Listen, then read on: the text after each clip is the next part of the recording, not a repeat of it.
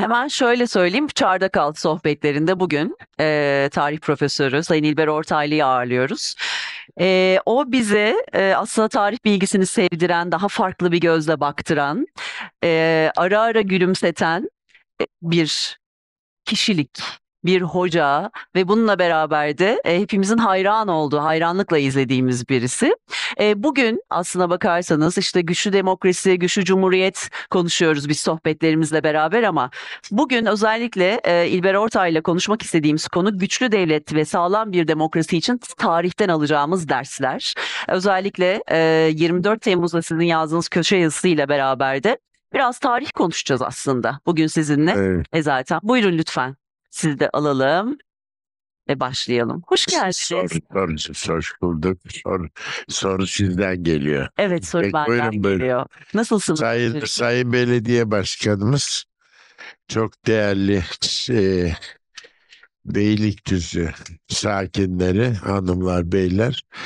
E, ikinci kere burada konuşuyorum kapalı salondan sonra. E, çok memnun oldum. E, zahmet ettiniz, iltifat ettiniz, geldiniz. Kalabalık bir dinleyiciyle karşı karşıyayım. Benim sizden bir ricam var. E, doğrusu konuşmak niyetindeyim. E, kitap imzalamak niyetinde değilim. Eğer ikisini birden yaparsam sabaha kadar burada kalmam lazım. Bu mümkün değil. O zaman e, şöyle bir şey önereceğim. E, Çatalca'da da yaptım. Bir gün kitap için geleceğim buraya. Yani kitap imzalamak için. E, daha iyi oluyor. Çünkü böyle imzayı atıp gitmek istemiyorum. E, benim ilgimi çekiyor kitabı alanlar. Hangi okulda okuyorsun, ne yapıyorsun? Yaş ortalaması, meslek falan. Bilmek istiyorum yani. Bu benim hakkım ve görevim hatta. E, böyle yarım dakikada yani imzayı bas gönder olmaz. Sabaha kadar da oturamam onu yaparak, şey yaparak. Böyle ayrı bir gün gelelim. Bugün beni bağışlayın konuşalım, sohbet edelim, öyle bitirelim. Yani normal olsun. Siz buyurun bana herhalde soru soracaksınız. Çok memnun Elimden oldum. geldiği kadarıyla az önce Laf gelmeden önce aynen öyle laf lafı açacak. Ee, herhalde benim dediğim gibi 20 yıldır televizyon haberciliği yapıyorum ama heyece- bütün konuklarımda heyecanlanırım ama sizin yeriniz çok başka. Ee, hem bir yazar olarak hem bir aydın olarak sizinle sohbet etmek de öyle mahcup olmaksa en büyük korku. Estağfurullah. Şöyle başlayalım o zaman. Şimdi e, güçlü devlet, sağlam demokrasi için tarihten alacağımız dersleri konuşacağız ama siz bir tarihçi olarak e, bize şimdinin şimdinin yani 2016'nın e, yaşananları ile ilgili tarih bize ne söyler acaba? Böyle başlasak. Bu tip bir e, çatışma bizim tarihimizde pek görülmedi. Hı hı. Bazı arkadaşlar mukayese yapıyorlar. E, ve bu mukayeseleri ben çok kaba buluyorum. Çünkü e, çatışmaların cereyan ettiği ortam çok farklı. 16. 17. asır vakaları bunlar. Mesela birisinde Kadızadeliler diye bir grup vardır. E, Kadızade e, Tahir Efendi, Ataullah Efendi pardon. E, 16. yüzyılın daha eski hatta bir e, mütefekkiridir ve mutasavvıfıdır. Şeyhülislam da olmuştur. E, son derecede e, muhafazakar, puritan dedikleri İngilizlerin tavırları vardır. Yani şöyle yaşayacaksın, böyle yaşayacaksın. E, çünkü kitle fakirdir. Yani 16. 17. asırda fakirdir. E, İtalya, Floransa en zengin zamanında fakirdi. Yani sizin gördüğünüz o hani Floransa'nın binaları, resimleri, heykelleri, ona para verenler onlar var ama kitlenin büyük çoğunluğu da çok fakir sürünüyor. Ve orada Savonarola diye bir adam çıktı. Fransisken bir keş, Dominiken bir keşiş, bir tarikat mensubu. Nutukları çok etkili oldu. Adeta ayaklanma çıktı. Kendisini zor bastırdılar. Yani papalık bile müdahale etti. O devirlerde hayat kolay değildir. Türkiye'de de öyle. Evet Osmanlı İmparatorluğu bilmem en iyi zamanımız. Fütuhat yapıyoruz ama çok da o kadar da iyi değil. Ee, yaşam, yaşam düzgün o kadar. Hı hı. Hatta mesela bizde o devirden kalma büyük konaklar falan da yoktur. Yani yoktur.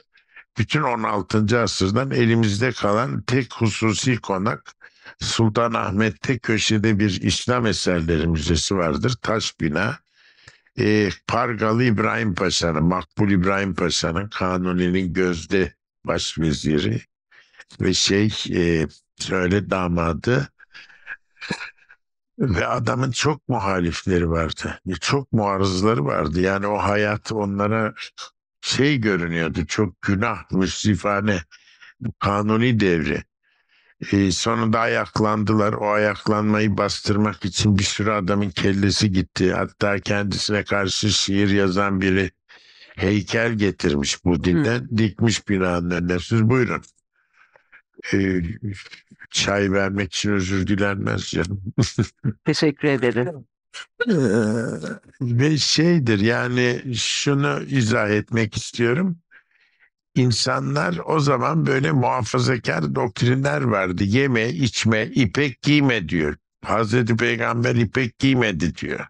Yani o giymediyse sen giyersin. Hayır o devirde öyle değil. İpek giyme diyor.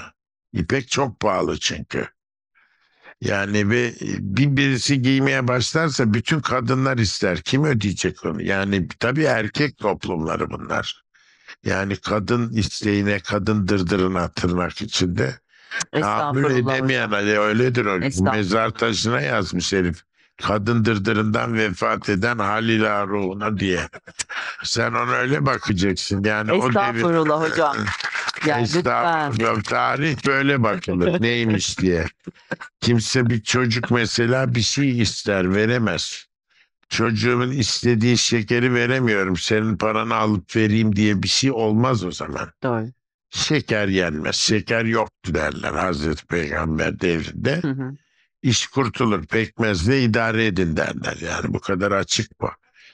Buna işte böyle bir mutasip hareket deniyor. Bu 17'de tekrar dirildi. Dirildi ama götüren adamlar kendisi kadar adamın saf hakim, zahit adam değiller kadızadeler. Felaket tipler.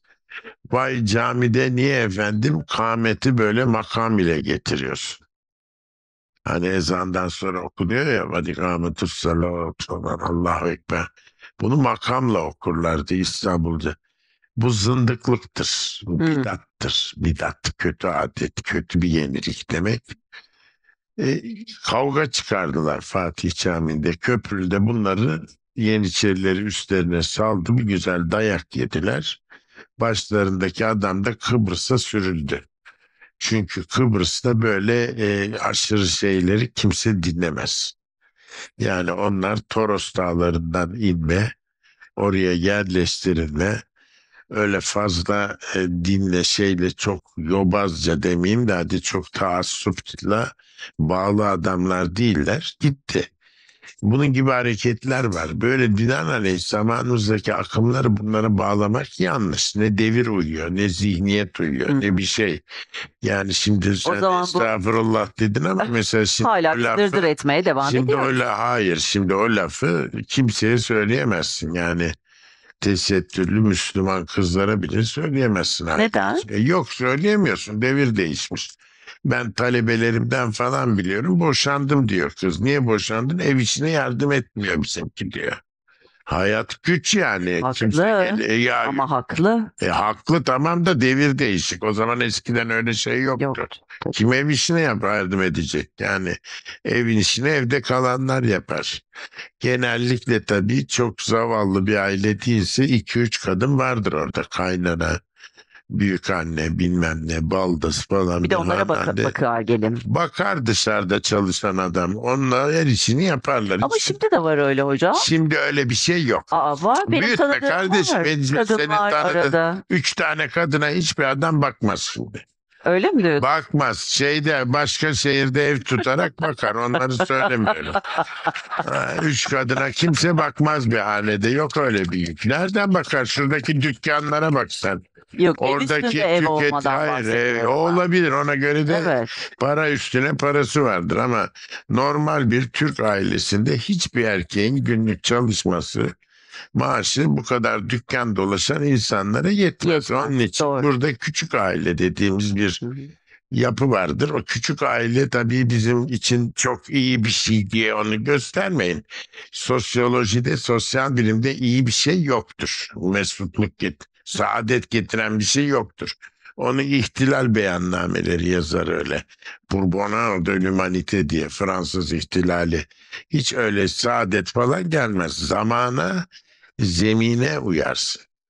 Mesela kreşte çocuk büyütmek. Kızımı yeni verdim mesela. Verirsin Ha. mecbursun çünkü burada oturuyorsun. Ne yapacaksın yani? Çalışıyorum. Ha, ben size söyleyeyim bir İsveç sefiresi Ankara'da o buradaki enstitüye tayin edilmek istedi. Düşürdüler. Olmaz sen uymazsın daha iyisini bulduk dediler. Sefirin karısı bu.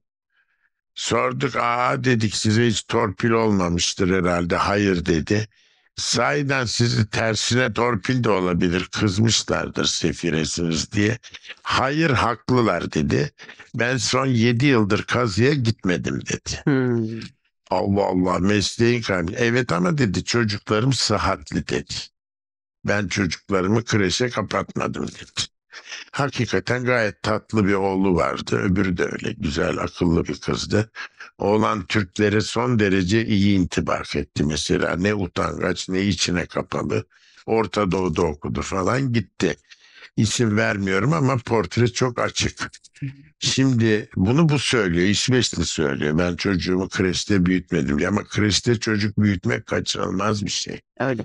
Yani bu insanlara bu yeni düzen, yeni dünya bir saadet getirmiyor. Ama mecbursun. Mecbursun. şimdi siz söylediniz ya hocam Mecbur. e, ön, e, geçtiğimiz zamanlarda işte Evet. bir erkek işte e, karısına işte kayınvalidesi ev üstüne bakmak Evde üç durumunda. tane kadına, Kadın üç bakıyor. çocuğa Şu da anda bakar. bir tane kadın e, çoğu zaman yapamaz. hayır erkeğe de annesine de babasına da şimdi kadınların çoğu da bakıyor. Bakamıyor. E hayır, ben yok. bakıyorum. E sen bakıyorsan bilmem. E burada da mutlaka çalışıp ailesine bakan hanımlar yok, Yok mu? az kaybolacak bu. Bunu bilin. Yani yahut da be- yeni mezar şey ayarlayacaksınız. Düzen. Ne, nasıl ayarlayabiliriz? E, ayarlayacaksın işte onu. Mesela şimdi o eskisi gibi değil tabii. O oturanların ya emekli maaşı vardır Hı hı. ya yine ilave bir iş yapıyordur. Hayat değişiyor. Eskisi gibi değil ki eskiden kadınlar evde oturur. İşleri yok onların. Çalışamaz. Yani çok o zamanın cemiyet yapısı, aile yapısıyla bugünkü birbirine uymaz. O zaman çocuklar evde büyür. İlk defa facia İngiltere'de patladı. Anneler çalışmak zorunda fakir sınıfta ve çocuklara bakacak kreş yok. Bir komşuya bırakıyor. O komşu sarsak ona ya bakıyor ya bakamıyor. Bakamıyor. Kadın dönüyor çocuğun ölüsüyle karşılıyor. Allah Ya. korusun. Mesela şey yazıyor size iki hatırat nakledeceğim. Rusya'daki fabrika şartları. İşçilerin evleri yok. Fabrikanın bir köşesinde yatıp kalkıyorlar çoluk çocuk. Ve e, orada çalışıyorlar. Bunlar fabrikanın bu köşesinde çalışırken gündüz çocuklar orada kendi başlarına. En iyi fabrikada bile bir bakıcı bir şey bugün olduğu gibi yok başında. İşte bir büyük abla bakıyor küçüklere güya ve çoğu zaman hasta bir çocuk orada ölüp kalıyor. Bunu yazan Madame Kollontai. Kocası orada mühendis. Sonra kendi Bolşevik oldu, burjuva oldu halde. Yani Rusya'da komünizmin inkişafını anlamak lazım. Sonra İsveç sefiresi falan oldu. Yani fe- feminizmin örneği. Böyle bir rezalet yok yani. Bu rezaletin olduğu yerde kreş olur. Yani Britanya'nın, Rusya'nın, Fransa'nın bedelini ödediği bir sanayileşme var. Böyle ödendi. Bu Almanya'da daha az ödendi. Mesela Almanlar daha sosyal demokrattı falan. Bunların şeysi var. Bu değişik. Dünyadan dünyaya değişik. Bırak Madame Kollontay'ı Ahan anlatıyor Rusya'yı. Fabrikaları. Ahan ya. Yani çoğunuzun işte mezhep reisi bilmem ne diye baktığı adam değil mi? İsmaililerin ruhani lideri. Rusya'yı anlatıyor. Rezalet diyor. Aynen kadın gibi anlatıyor. Hiç solcu molcu değil. Değil. Durumları Hindistan'dan da beter diyor. Çünkü Hindistan'daki fabrika işçileri istiyse dışarı çıkıp hava alıyor. Bunlar onu da alamıyor diyor. Eksi 30 derecede kim hava alacak çıkıp. Donarsın maazallah. Yani e, böyle bir şey anlatıyor. Böyle bir şeyler var. Bunların olduğu yerlerde bu gibi müesseseler geliyor. Bunlar için çok önemli. Bizde de geliyor daha hadisesiz geldi. Onun için biz Türkiye'de Avrupalıların tanıdığı anlamda zengin fakir işte işçi işveren kutuplaşmasıyla bir devrim yaşamadık. Lazım da değil. Böyle bir şeye ihtiyacımız da Hayır, yok. hiç kimseye lazım değil. Çok iyi bir şey değil. Hı hı. Fakat korkarım başka türlü çatışmalar icat ediyoruz. Çünkü toplumlar yerlerinde duramıyorlar. Bu çok tatsız bir olay. O zaman bunu Bu kültürel bir çatışmadır. Yani bir kısım halkın yaşadığı veya kendine göre saplantısı olan değerlerle öbürününkiler bağdaşmıyor. Türkiye toplumu bunu nasıl geçer? geçer Bilemem, e, bilemem. Onu ben tarih gösterecek o zaman. tarih gösterecek diye beklemeyin. Yani bunu hiç kimse cevabını veremiyor. Bunun bir tek cevabı vardır. Tolerans, sabır. Hı hı. Sabır gösteren, ona göre şeysi çalışan liderler. Yani aksi takdirde iyi olmaz. Yani Şimdi- toplumların gerilim noktasında Hı hı. uzlaştırıcı liderler lazımdır. Bu çok önemlidir. Ve tepeden başlayıp ondan sonra yerel Aşağı yönetimlere kadar gider, yerel devam yönetime eder. kadar gider. Yerel yönetimlerin durumunu burada ele alacak değilim. tabii ki. Fevkalade zor zamanlar geçiriyorlar. Çünkü böyle belediye olmaz. Bir kere belediye demek belde halkının kuruluşu demektir. Komune. Hı hı. Yani Sindaco da onun başkan, başkanıdır Lonca reisi gibi. İtalyanca tabiri kullanıyorum çünkü İtalya'da başladı bu işin doğrusu. Komün oradan Fransa'da. Bizde bu belediye şehir idaresi diye tercüme edildi. Geç geldiği için. Fakat bu yerel olur. Böyle büyükşehir belediyesi diye Balıkesir'e Ayvalık'ı bağlayamazsın. İnsaf arası iki saat arabayla bile. Ne alakası var Balıkesir'in adamıyla? Bu Ayvalık'ınki ikisi de göçmendir ama biri Balkanlardan öbürü adalardan. Orada bile fark eder. Yani bunlar abuk subuk şeyler başka bir şey. İkincisi burada belediye reisinin de meclisin de seçim şeyine bakın şartlarına seçilme şartlarına işsiz adam girebilir meclise memur giremez. E, Ankara memur şehri bir sürü yerde memurlar oturuyor. Öyle şehirler var ki hocalar kalabalık orada. Üniversite şehri falan. Yani teşekkülü itibariyle demokratik değil bu kuruluşlar. Ben size söylüyorum yani hep verdiğim misal şudur. Mussolini devrindeki İtalyan belediyeleri bile bizimkinden daha demokratik kuruluşu itibariyle. Çünkü kimse kısıtlanmıyor. Efendim partili olması lazım. O zaman herkes faşist partinin üyesi sayılıyor. Ipso facto. Yani öyle bir problem yok. Büyük yerlerde merkezi hükümette tabii ki başka türlü bir diktatörya var. Allah korusun ama kasabalarda herkes kendine göre insanları öneriyor falan gidiyor iş. O öyle gidiyor. Bazı yerlerde tabii çok kötü Alman sosyal nasyonel sosyalizminde o ayrı. Ee, buna dikkat ediyoruz. Biz şuna dikkat etmemiz lazım. Bizim yerel düzeyde bile demokratik kuruluşumuz tam değildir. Ve bunu ıslah edecek bir halk yok. Uyanık değil yeterince insanlar. Ee, merkez hükümette, yönetimde oturanlar da hiçbirine uymuyor. Şöyle bir şey söyleyebilir Evet. miyim? Dün burada bir sohbet vardı. Ee, hem e, Beylikdüzü Belediye Başkanı Ekrem İmamoğlu ve Beylikdüzü'nün içerisinde olan bütün partilerin ilçe başkanlarıyla biz burada sohbet ettik. 7-8 kişiydik. Gelmeyen e, parti e, ilçe başkanları oldu. Hatta ben özellikle de sordum. yani İlçe niye yoklar? parti başkanı niye Evet. gelmiyor? Ben Evet. onlarla kahve içmem diyor. İyi. kahve içmiyorsun ama bu gök kubbeyi paylaşmak durumundasın. Evet. Yani Efendim adam benimle kavga eder etmeyin. Etmeyin yani. Mesela halkın önünde tartışmayı bilmek zorundasınız. Bilmiyorsan hır çıkartıyorsan iş bitmiş demektir. Mesela 950 meclisi konuşmayı bilmezdi. Birbirlerine hakaret ederlerdi. Göklere çıkardığımız Menderes'in bir sürü meziyetleri vardı ama maalesef tartışma adabı yoktu. Sinirleri bozuktu. Yani o tip çoğunluk partiler, çoğunluk partiler tartışmayı Demirel'le öğrendiler. Adamın siniri kuvvetliydi. Bu kadar açık bunu burada anmak lazım. Yani Allah rahmet eylesin. siniri kuvvetliydi. Zaten İsmet Paşa'nın ağırlığıyla o adamın o soğukkanlılığı olmasa ben size söyleyeyim. 961'den sonra kavga çıkardı. Yani 960 kudetasının, darbeyi hükümetin ve getirilen tedbirlerin onun da belki bir takım ilerici hamleleri olduğu zararları kadar onun yarattığı ekşilik, burukluk sokak kavgasına dönüşürdü. Adam onu engelledi.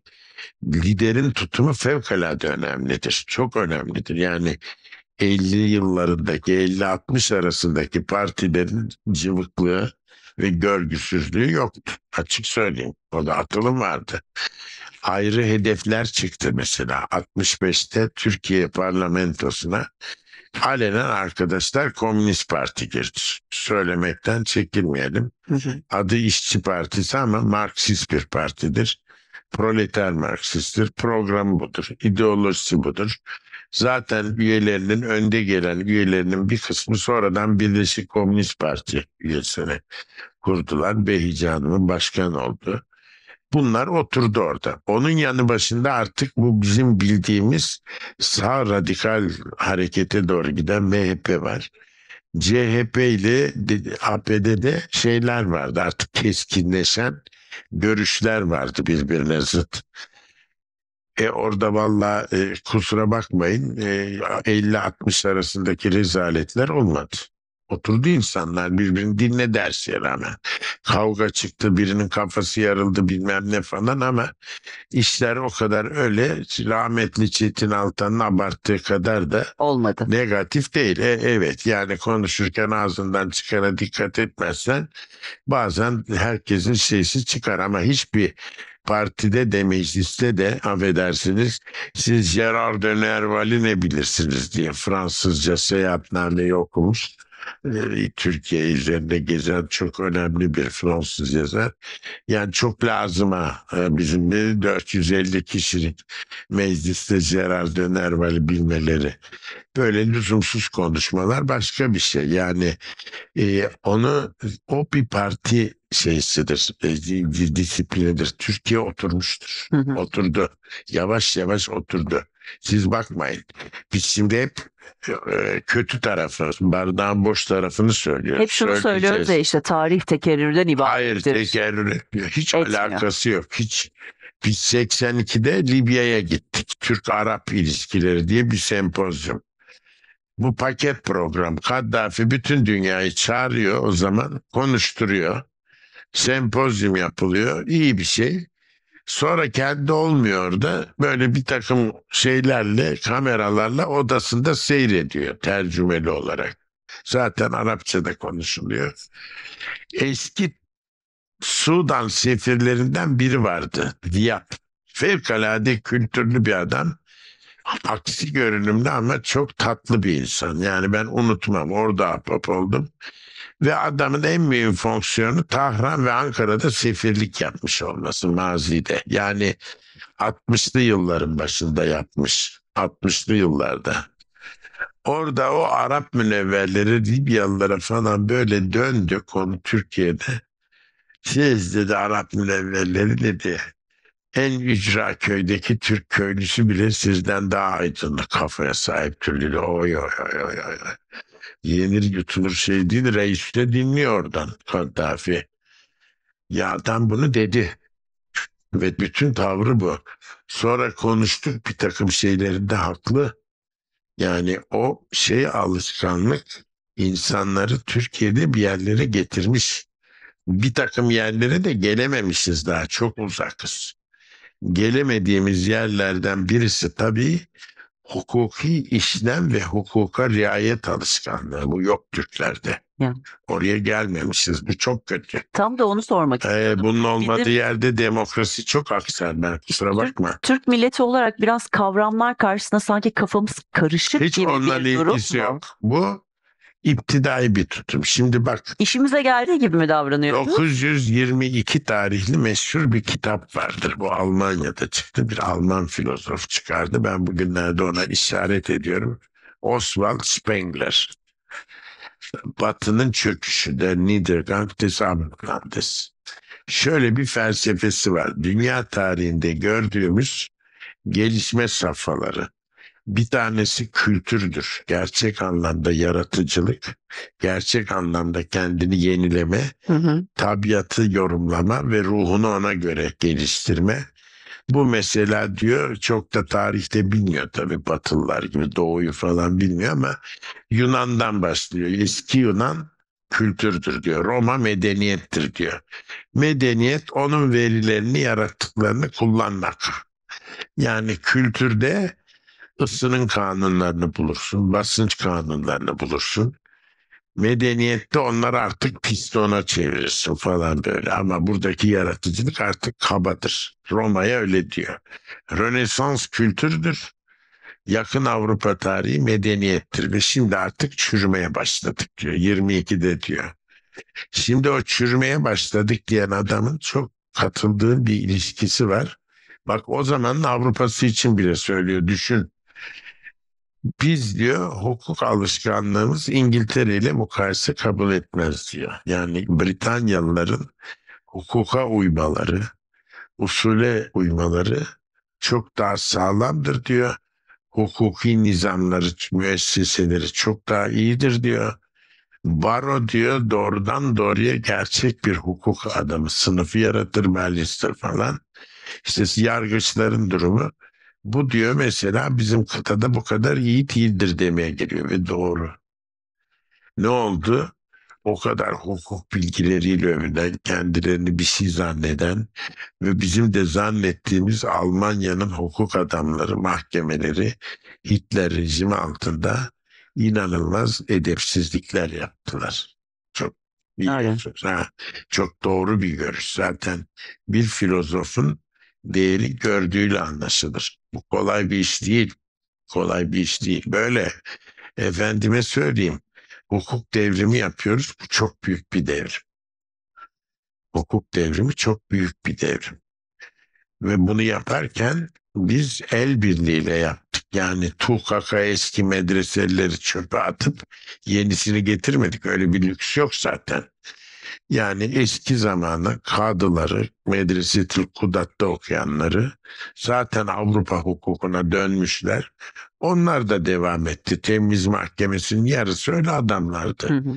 Öbür yarısı da hem kendimiz gayret ettik pek bir şey olmadı. Allah'tan Almanya'dan hukukçular geldi. Hitler'in attığı büyük adamlar yetiştik. Fakat biz bunu götüremedik. Hukuk fakülteleri Türkiye'de seçkin çocukların yetiştiği okullar değil, binlerle adamın girdiği yerler oldu. Yani seçkin çocuk nereye gidiyor Türkiye'de? Mühendislik mektebine. Doğru. Nereye gidiyor? Tıp fakültesine fakültesine. gidiyor. Nereye gidiyor? Mektebi mülkiyeye. Çünkü kesinlikle adam kaymakam olacak, maliye müfettişi olacak en mühim şey ve diplomat olacak. Oraya gidiyor. Sınırlı talebe alıyor. İşte hukuk fakültesi şimdi uyanmaya başladık. Şimdi. Geçme. Geç tabii. Yani aşağı yukarı 50 senesi Türkiye Cumhuriyeti'nin ve hukuk devriminin iyi hocalar olsa bile kötü organize edilmiş hukuk fakülteleriyle geçti. Şimdi sen o şartlarda yetişen çocuklardan harikalar bekliyorsun. Böyle bir şey olmaz. Peki Yani Amerika'da herkes dökülebilir ama Hı hı. hukukçular dökülmez. Yani hukuk fakülteleri en iyi mekteplerdir. En iyi üniversitelerin kiler en iyi hukuk fakültelerdir, law school'lardır. Az talebe alınır. Ben gördüm mesela Chicago'nunki iyidir ve iyiydi o çocuklar. İyiydi. Oradan çıkan insanlar o memleketi koşturur. Yani o çok önemli.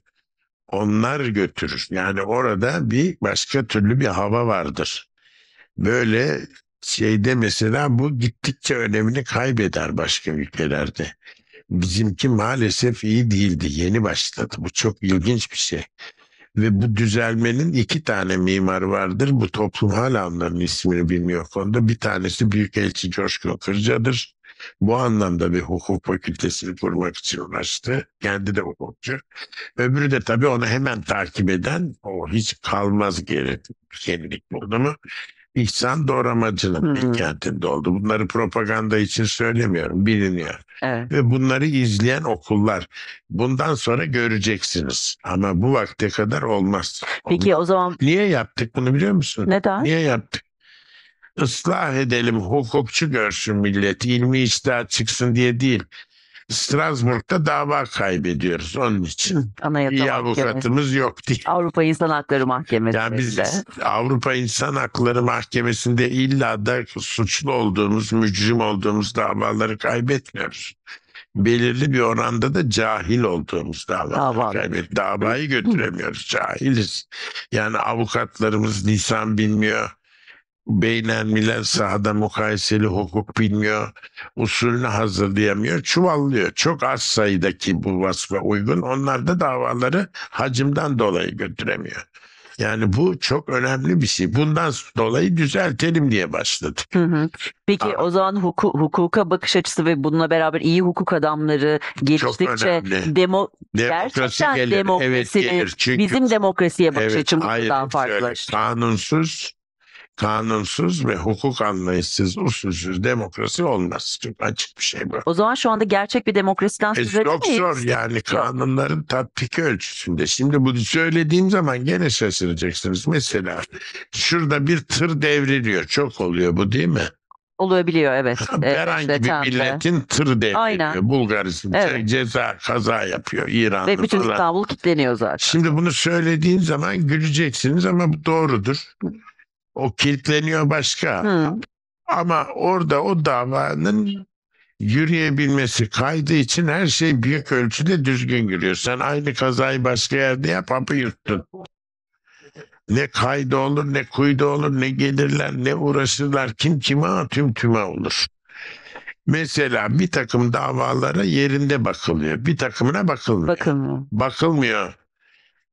Anlayışın şahsi yorumun hukukun önüne geçtiği davalardan biri sizin demin işaret ettiğiniz şey. Kadın erkek aile meselesi. evet. Orayı daha deşememiş Türkiye, geçememiş. Tabii. Bunun böyle sağla solla, İslam'la, laiklikle de ilgisi Bu yok. başka bir Geçememiş. şey. Evet, Burada geçememiş. şunu eğer ki sakıncası yoksa söylemek isterim. Bizim eee, üç kadın yaptığımız bir gösterimiz var. Siz de biliyorsunuz. Kadının adı var diye. Ebru Tuğay Yüzümcü, ben Bantu. Evet. Biz kadın erkek eşitliğini biraz anlatmaya çalışıyoruz.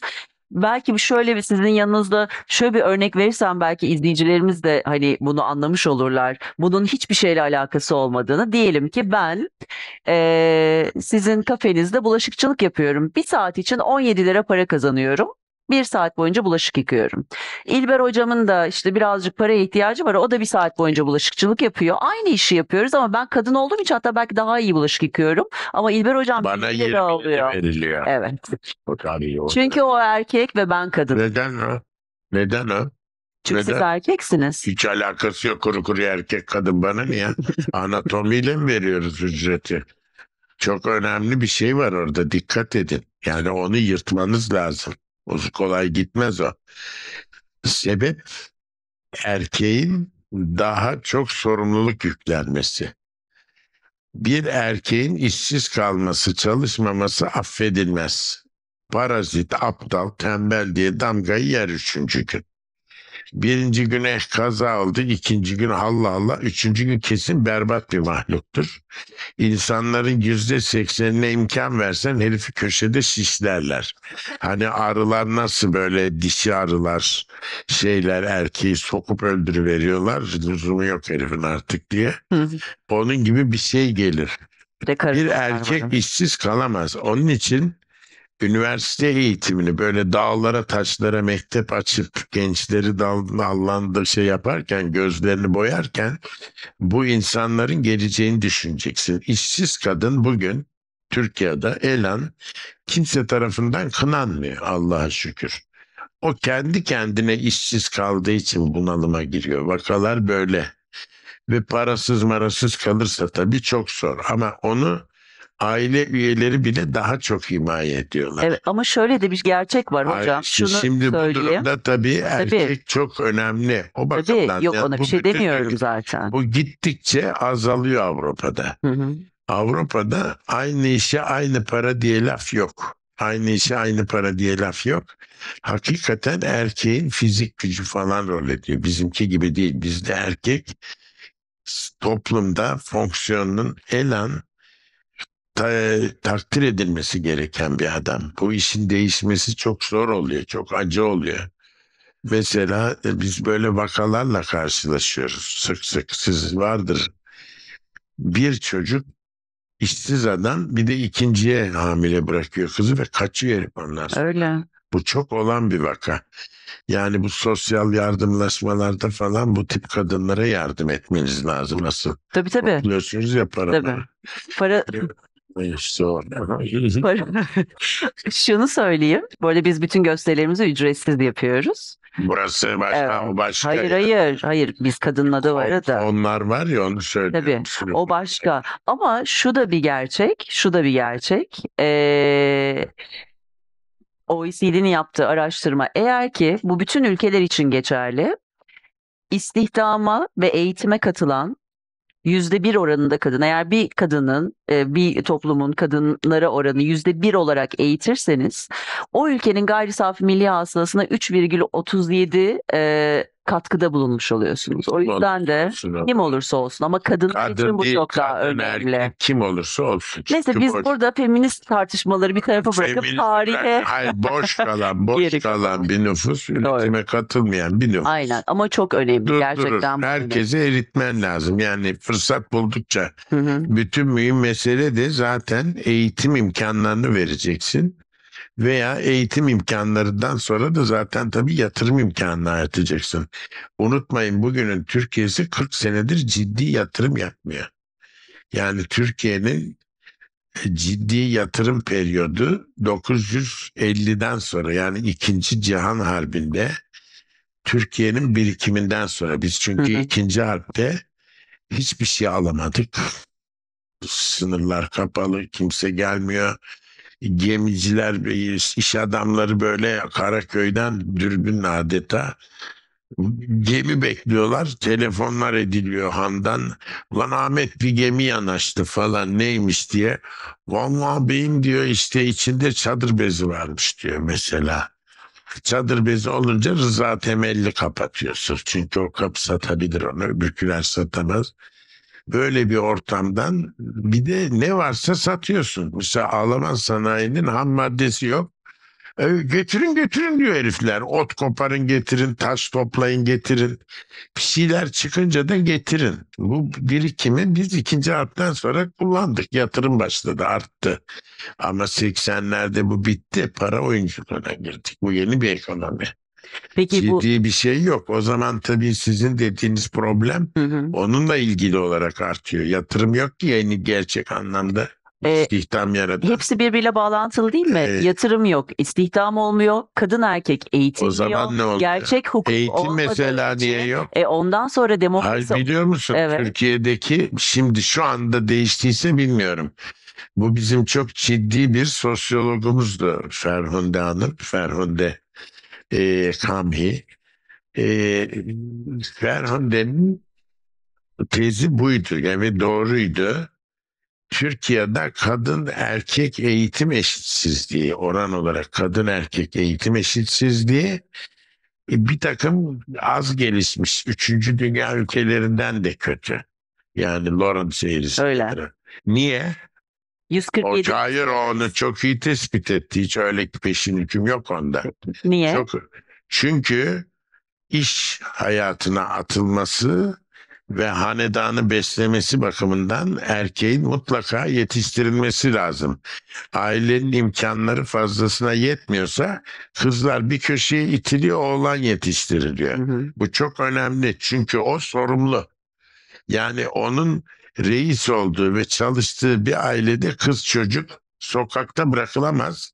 Bütün millet tefekkür o herifi, sülaleyi. Bu çok önemli. Bu dediğim 70'lerin 80'lerin görünümüydü. Şu, şu anda artık 92 bin bir değişiklik varsa göreceksiniz. Yani her türlü şeyin bir e, nedenini arayacaksınız somut olarak Hı hı. metafizik açıklayamazsınız. Doğru. Önemli bir şey bu. Şimdi mesela Batı ülkelerinde tabii erkeklerin böyle bir sorumluluğu yok. Kız kardeşlerin hayatından yoktur. Açıkça yok. E, evet yani dışarıda hem gördüğümüz hem izlediğimiz kadarıyla böyle bir bilmiyorum bu herhalde işte yetiştirilme, ahlak, tarihten gelme adı her neyse. Ama şimdi birazcık e, böyle kadın erkek ilişkilerine falan da girdik. Darbelerden, tarihten buraya kadar tabii bir derya için İlber Hoca. Oldukça ge- gerçekten öyle. Ama e, bunların hepsi dönüp dolaşıp işte gerçek demokrasi ve sağlıklı yaşama doğru devam Gerçek ediyor. demokrasi Hepsi gibi bir şey e, bir güzel bir hedeftir. Gerçek. Gerçek demokrasiden evvel Türk toplumunda çok üzerinde durulması şey kanuna uyun. Çünkü bu toplum kanuna uymuyor. Şimdi bana diyor ki şoför kızım diyor 5 lazımmış 4.97 ile almadı diyor. Bir herhalde bir hemşire okulu Hı. falan o. Yani iyisinden. Bu gibi ara meslekler çok kazanmaya başladı Evet. Türkiye'de. E dedim Meslek demek ki 4.97 dedim. Çünkü aradaki o 0.3'te kaç yüz tane çocuk vardır Allah bilir. Ya kaç on tane. Hı hı. Aman diyor müdüre bir araba alsan alırmış diyor. Hemen oraya akıl. Ya el revcine bü- bühtan etme dedim. Tut ki arabayı seviyor sen de alıyorsun. Senin kız alıyor. O zaman dedim hak eden biri düşecek seninki girecek. Vicdanın yer mi diyelim büyülü bakıyor. Anadolu susması denir buna böyle. Cevap açık bir şey bu böyle bakıyor. Yani bu, bu bir ahlak. Kimse ahlaksızlığı kendi başına yapmıyor. Her toplumun yönetimi insanların talebine göre işler. Doğru. Önemli bir laf. Hocam, Bu önemli. Kendi toplumunun bireylerine göre işler. Eğer o toplumda böyle bir adaletsizlik hazmediliyorsa ve benimki kurtarsın diyorsa ona göre örgütler kurulur. Hı hı. Kurulur yani bunu temin edenler. Bir gün giriyorum Galatasaray Üniversitesi'nde sınıfa. Güya bizim hukuk fakültesi yüksek puanlı insanları alıyor. Öyle. Evet. Çok da zor. 6-7 İşte. tane tip böyle bakıyorlar bana zombi gibi. Ne sorduğuma cevap geliyor ne bir pırıltı var. Belli. Ya o sıra ÖSYM şey yapıyordu bazı şeyleri ayarlıyor. İkisi kız harita çizmeyi bilmiyor. Yedisi herif. Ya, tipler yani. Besbelli. Niye giriyor? Ne hakla giriyor? Niçin giriyor? Neden bu numara dönüyor? Kopya lafıyla çıktım ortaya. Hatırlıyorsunuz dönemi. hatırlıyorum. Herkes saldırdı bana. Sonra çıktı. E sonra Ortaya. hepsinin kopya çektiği çıkıyor çıkıyor. Çünkü zaten raporlar var. Kim ÖSYM imtihanına girdiyse bizim hocalardan Doğu eyaletlerinde açıkça bağıra bağıra kopya çekildiğini söylemiş. Hı hı. Dikkate alınmamış sus bakayım demişler. Burada e, İstanbul'da yapıldığı o böyle odalar ayarlanarak yani oturma düzeni belli. Beni konferansa çağırdılar Ankara'da. Yani işte sorgulama değil bir şey güya. Anlattım. Sonunda dedi ki bana Hüseyin Başkanım siz dedi elitistsiniz dedi. Lafa bak ha. Yani elitist olmamak için elitist çok ayıp bir laf çünkü. Elitist olmamak için aptalların ve üçkağıdın falan göz yumuş. Öyle bir şey olabilir mi? Ya, tabii elitistim ama bunun elitisti değil buranın. Buranın eli. Ee, buradan elitist olur. Yani açık mı?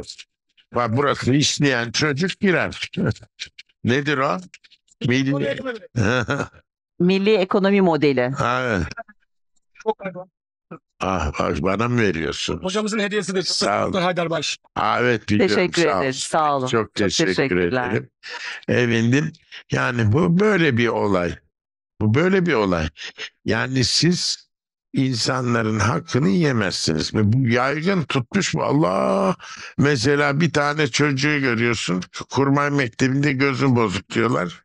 Hava yollarına geçiyor. Gözünün bozuk olmadığı anlaşılıyor. Hı hı. Yani bu kopyacılık artık insanların hakkına tecavüz. Çünkü toplumda böyle bir eğilim varsa bu Var. örgütü çıkıyor. Bazen de sehven oluyor hocam. Niye diyorsun? mehven olur mu ya? Bir şehven mi bu kadar numara düşüyor? Şimdi saçmalamayalım lütfen. Sehven olmaz böyle. Sehven Cahil, milyonda cahil bir olur. Cahil değil. Sehven olmaz. Doğru Sehven söylüyorsun. olmaz. Kompütürle imtihan yapıyor falan adam. Şimdi çok bir taraftan da bana e, buradan da sorular geliyor. E, herkesi de mutlu etmek istiyorum. E, İlber Hoca'yı da e, her konuda biraz da gerçekten faydalanmak da istiyoruz. 15 Temmuz milat mıdır Türkiye Yok tarihi herkes milat kor. Yani bu gibi olaylarda herkes mesela unutma Fransız ihtilalinin günü sıfır dendi. Bildiğimiz Hristiyan miladı hı. silindi. Evet. Hristiyan takviminin milat oluşu da aslında Hristiyanlığın 5. asrında. 400'lerin sonunda yani. O vakte kadar eski Roma'nın miladı kullanılmış. Yani Roma şehrinin kuruluşu. Ab urbe condite. Çok bilinçli olarak bu işi yapan bizim Müslümanlar. Hazreti Peygamber'in göç tarihinin de Medine'ye hop diye milat diye koymuşuz. Yani ondan sonra sıfırdan yürüyor. Ondan evveli ayrı. Yani hicretten evvel pek eski tarih bahsedilmiyor ama hicretten sonra diyor. Yani bu çok önemli bir şey. Bu bunu koymuşuz. Evet. Bu Hristiyanlarınkinden o ayarlamadan sonra yapılan bir şey. Daha evvel kimde var bu? Yahudilerde Tur Sina'dan inişi Hazreti Musa'nın sıfır noktasıdır. Fransız ihtilal de layık bir şekilde ihtilali koymuş. Bir müddet kullanıldı sonra güme gitti ki burası oradan. O pozitivist düşünce böyle bir takvim yaratmak istedi. Artık o moda geçti. Hı hı. Dolayısıyla böyle bir milat şeysi, heyecanı herkeste vardır. Yani biz bir başlangıcı temsil ediyoruz. Ne kadar başlangıç olduğunu tarih gösterir ileride. Hmm. Yani o olayın, bu mühim olayın, bu Evet. mühim olayın ardından nasıl gelişmeler olduğuna, neler yapıldığına bakarak aşağı yukarı 40-50 ne bileyim ben 30 Hı hı. belki yavaş yavaş görürsünüz. Bu sizin son köşe yazınızı okudum da bu 5 yıl önce, Evet. 500 yıl önce Osmanlı ordu Hı hı. Suriye'de nasıl ilerledi başlıklı bir var Evet. hocanın. E, o yazıda e, 500 sene önce o bölgede Osmanlı ordusunun nedenle etkili olduğunu yazıyorsun. Evet. Ya, Var orada. E, Niye tıpkı- etkili? evet neden etkili? Bugünkü Çok kahramanlar kılıç kalkan zaman. salladılar. Öyleler ama karşısındakiler de ot toplamıyor.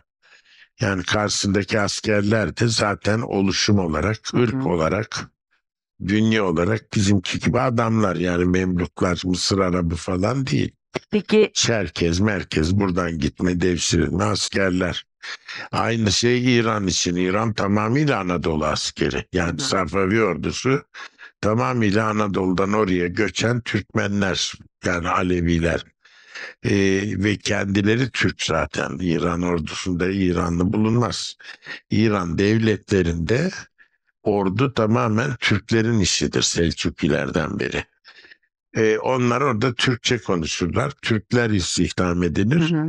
Devlet hayatında ve ilimde Farsça konuşulur. Çünkü şundan dolayı ben bu soruyu sormak istedim. Bu sizin Osmanlı'ya bakma kitabınızda Haçlı Birliği'ni dirilten işte fetihten bahsediyorsunuz. Bir Evet, taraftan Osmanlı evet. tarihini tartışmak Evet. olayı yazıyor.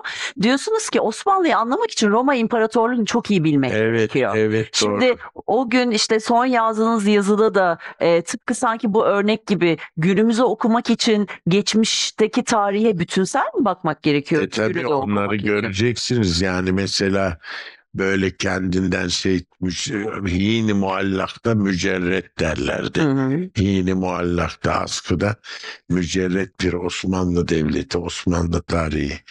Bu imparatorluk ahalisi olamaz. Yani böyle bir şey söz konusu değil. Biz bir şeyin üstündeyiz. Bir şeyle iletişim içindeyiz. Bir şeyle kavga veya birleşme, simbiyosis halindeyiz. Ee, karşılıklı iletişim halindeyiz. Bunlar çok önemli. Onun için Roma tarihini bilmeden olmaz. Ben ilk Roma dediğim zaman bizim bir takım meslektaşlar yani herhalde Romalı Perihan'ı anlıyorlar. Bu arada tabii Perihan çok e, medeni bir kızcağızdır yani. E, soprandır aslında yani şey garp musikisi bilir. E, yani ne anlıyorlar anlamıyorum. Bu batıda da yaygın şimdi biliyor musun? Hangisi? Bu seyrettiğiniz Bak. filmlerin yüzde sekseni seyredilmeyecek şeyler. Yani Roma İmparatorluğu dediğin zaman bir takım gladyatörler, Evet. bir takım böyle garip şeyler, sır, Aslında- perversiteler, Hı. bir takım garip şeyler. Bunlarla bir Roma olamazdı. Yani Roma medeniyettir, hukuku getirmiş, hukuk müesseselerini getirmiş, bunu tatbik etmiş bir devlettir ve hukuk fakültesinde öğretmez onu. Hmm. Roma'nın hukuk fakültesi ilk İstanbul'da kuruldu. 5. asırda. Roma'da Roma Hukuk Fakültesi mektebi falan yok.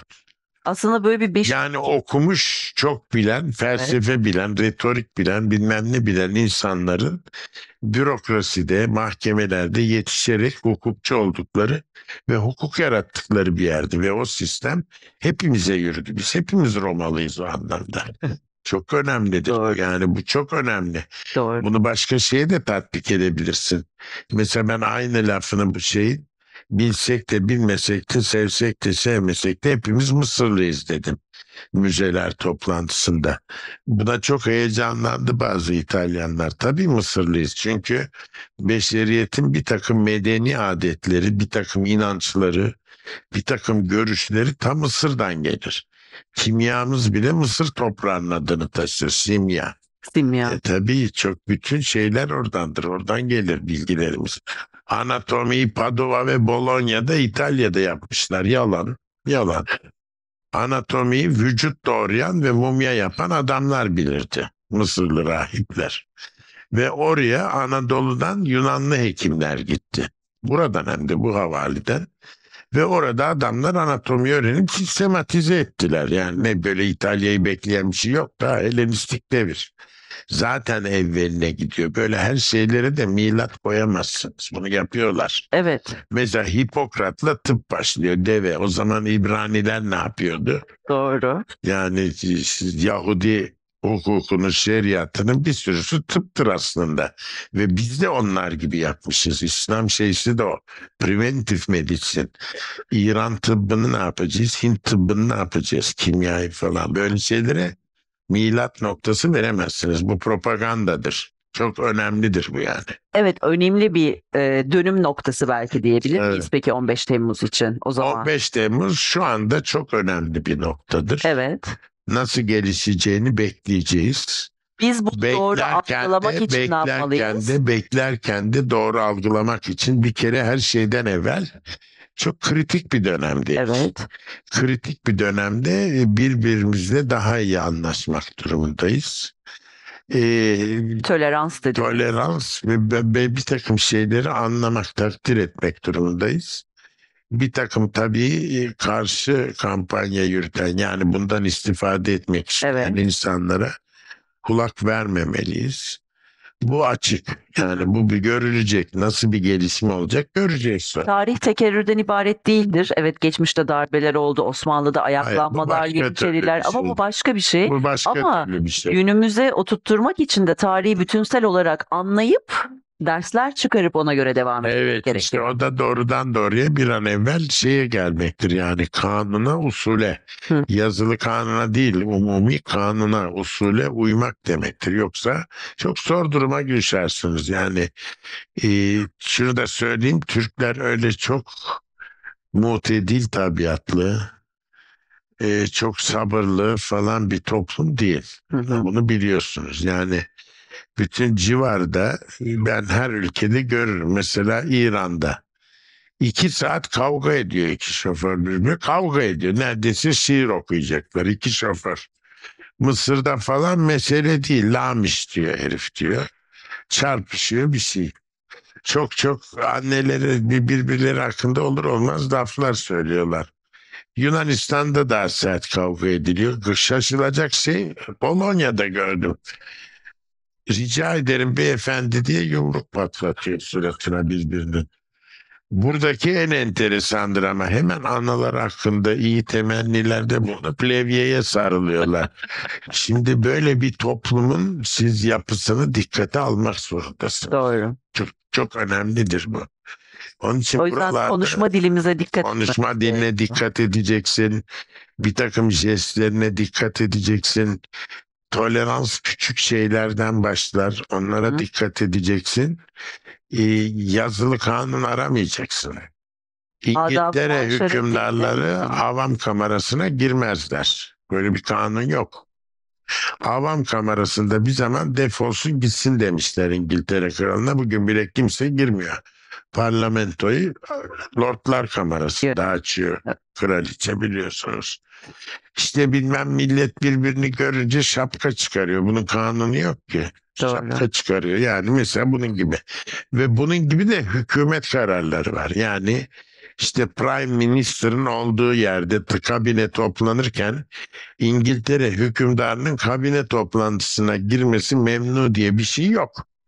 İkinci George'dan beri girmemişler. Hı hı. Bir takım sivri tarihçilere sorarsan orada bunlar diyor Alman dükalarıydı ikisi de. Hanover dükalarıydı baba o.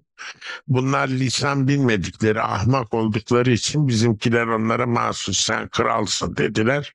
Onlar da inandı buna toplantılara da giremiyor kabine kendi başına kaldı. Peki ama böyle girmiyor yani işte bu kadar kimse gidip de oraya oturmuyor. Yani bu çok önemli. Yazılı kan anayasaları yok bir kere. Bir takım temenniler şeyler de kanun kadar geçiyor ama kanun o.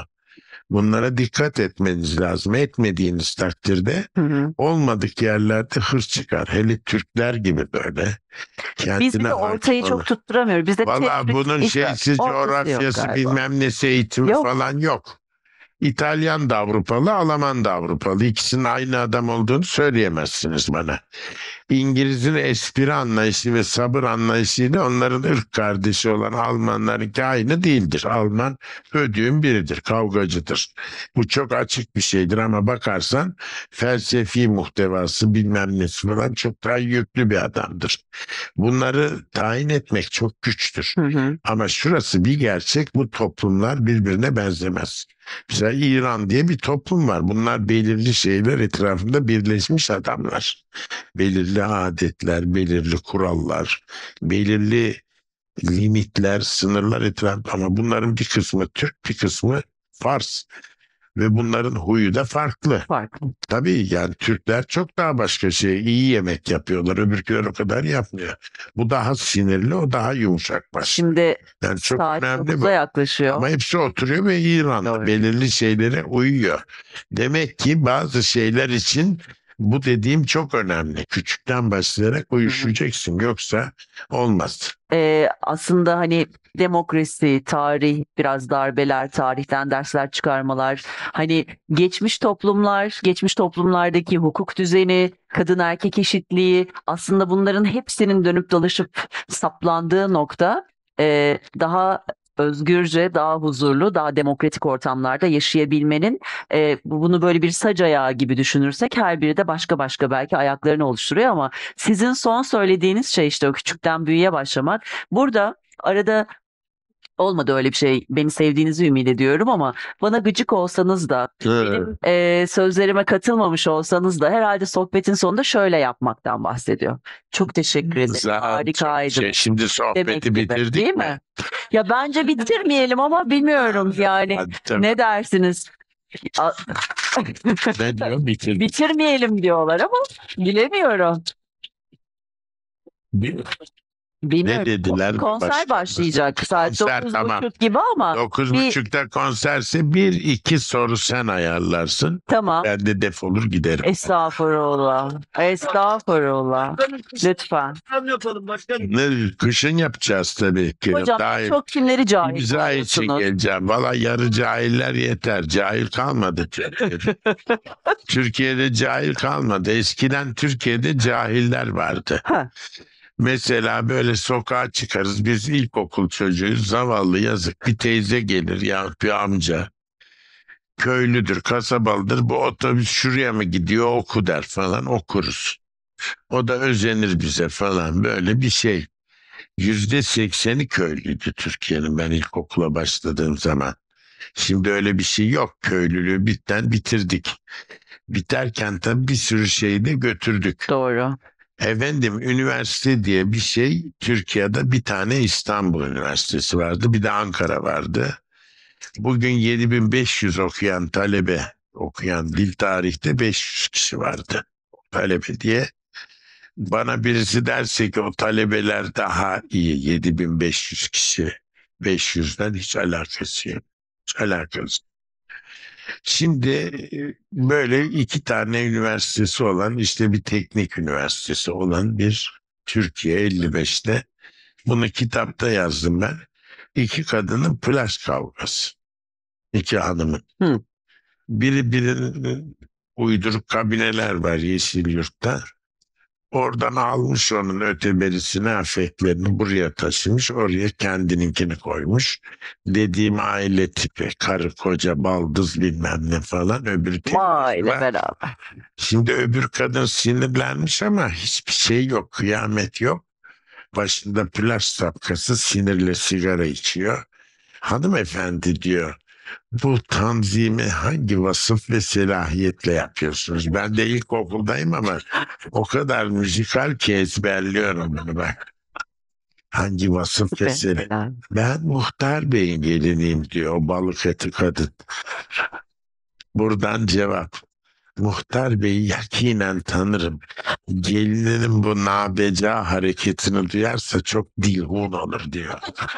Şimdi bu kelimeyi ben 40 sene sonra benim hukuk fakültesindeki meslektaşım Lale'den duydum. Lan aferin sana dedim. Nasıl da belli oluyor vali kızın olduğu. Dilhun diyor.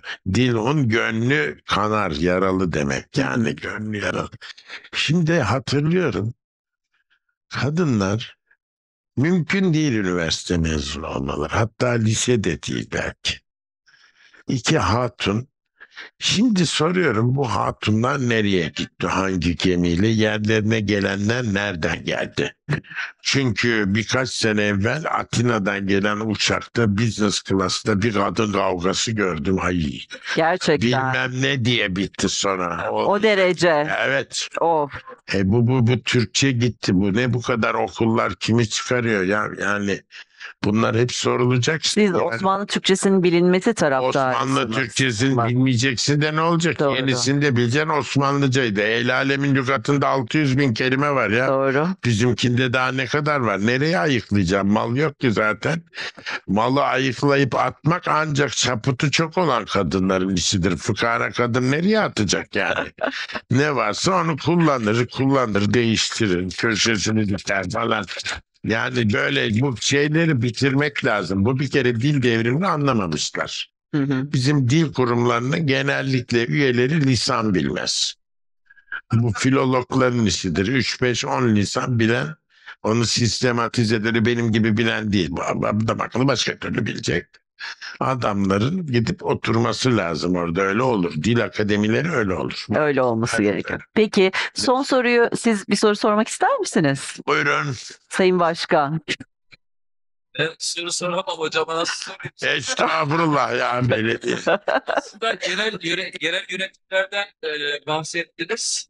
E, aslında o kadar güzel tariflediniz ki yani bizim e, duygularımızın tercüman oldu. Sağ olun. E, dün akşam torba yasada da apar topar gece 2'de e, bir düzenleme yapıldı. İstendiği zaman belediye başkanlığını alacak. E, tabii belli sebepleri olmak Torba yasa neyin siz isterseniz söyleyin. E, belediye başkanlığının Hı. e, görevden alınması ile ilgili. Bir kanun. Kanunluk. kanun. Ve belediye başkanı görevden alınacak.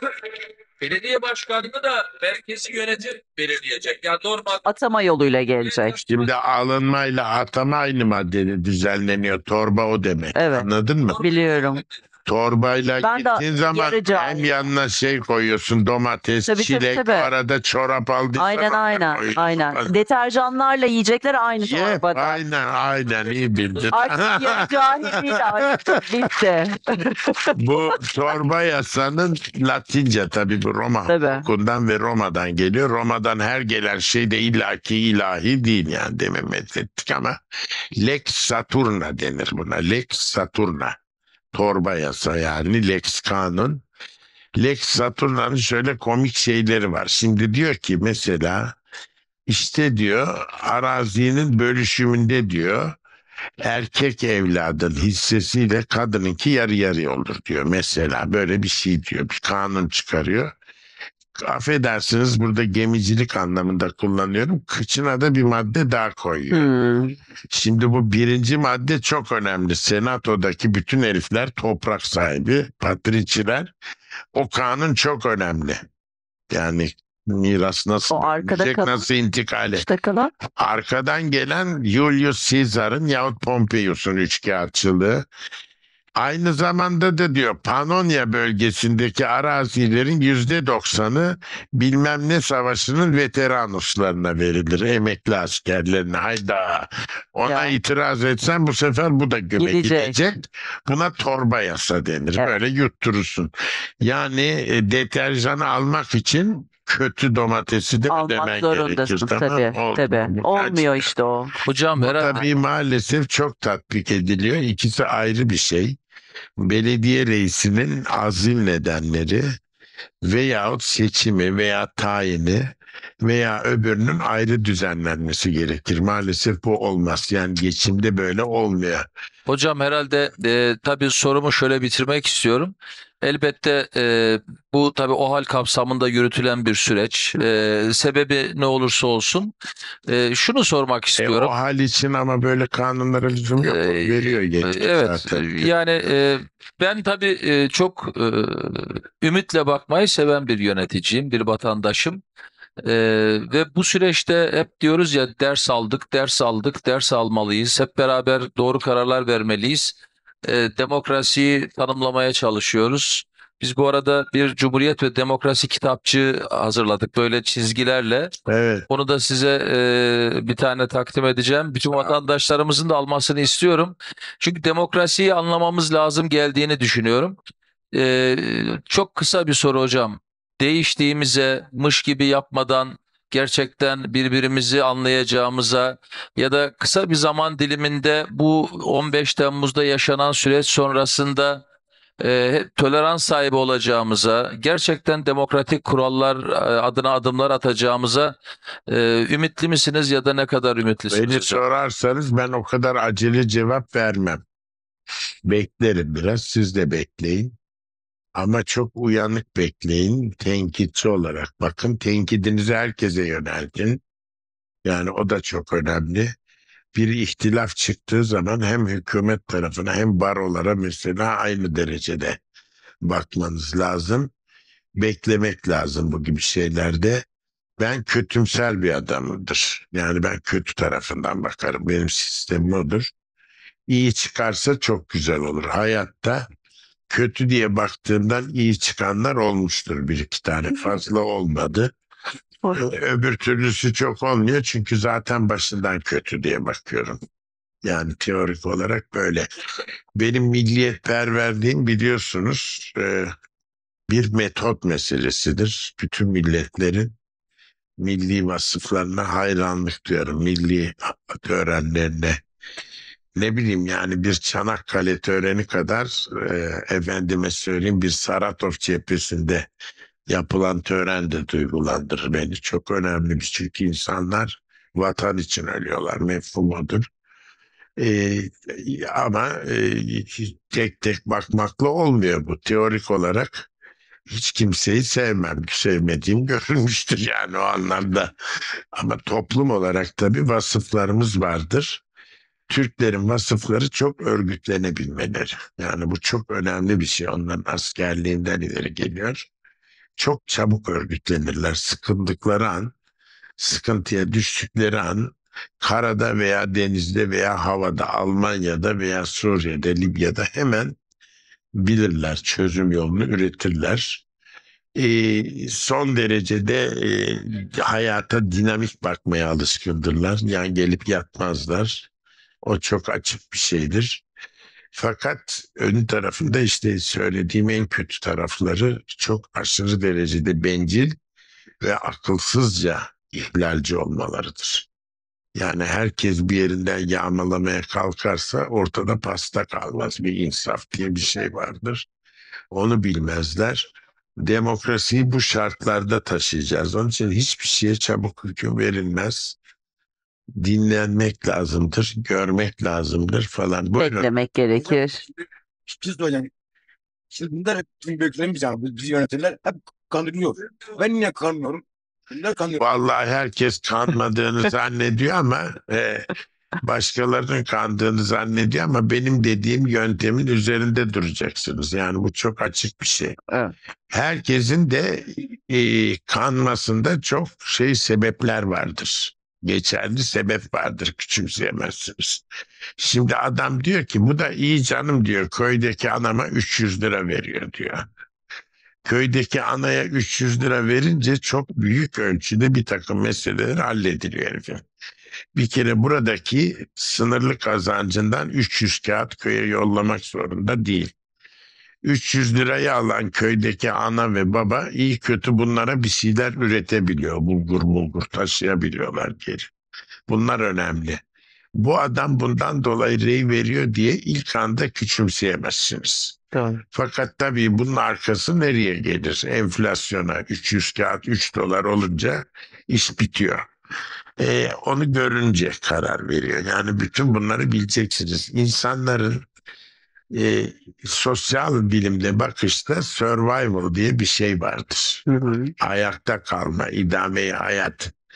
İdameyi hayat içine sizin koyduğunuz hedefler sizin için, sizin gibiler için, onunki onun için gelir. Çok önemli. Bunun çaresini de bulanlar var. O da yanlış. Mesela bizde geçen senelerde kızcağızın biri söyledi bunu. Birden üstüne çullandılar. Ne çullanıyorsunuz ya o görüşte var. Yani dağdaki çobanlar Hmm. benim reyim bir mi diyor. Evet. Bir. Çünkü çobanın bir bakışı var. O haklı. Koyunları ve idameyi hayat açısından seninki de haklı sana göre. Bunu söylüyor ama bunu söyleyen rejimler vardır. Bunu söyleyen rejimler vardır. Bir tanesi mesela Franco'nunkiydi. Yani reyler eşit sayılmaz. Fransız ihtilali gibi eşitlik ve demokrasiyi getiren rejimde insanların rey vermeleri ve seçilmeleri için iki kıstas vardı. Miktara dayanırdı. Efendim 5000 kağıt vergi veren aday olabilir. 1000 lira vergi veren de rey verebilir. Hiç veremeyen veya daha az veren rey verme hakkı yoktur. Serseri mi dinleyeceğiz diyor yani adam açıkça söylüyor bunu. Kendisi de güya ümanite, fraternite, egalite, zarsız diye sokağa dökülmüş. Bu çok uzun zaman devam etti. Ve genel oyu kim getirdi biliyorsunuz herhalde değil mi? O ihtilalden aşağı yukarı 100 sene sonra nice kavgalardan her ülkedeki ayaklanmalardan sonra kim getirdi? Avrupa'nın en muhafazakar başbakanı Prens Bismarck getirdi. Ve öbürlerine demiş ki ne telaşlanıp oturuyorsunuz ya verin genel oy gene bizi seçiyorlar diyor. yani onun için e, kolay halledilecek iş Şey- değil tabii. Profesör Doktor İlber Ortaylı alkışlarınızla birlikte bizimle beraberdi. Bu tür haberler için lütfen Siyasetin Sesi kanalına abone olmanızı ve video hakkında yorum yazmanızı istiyoruz. Sizin desteğinize ihtiyacımız var.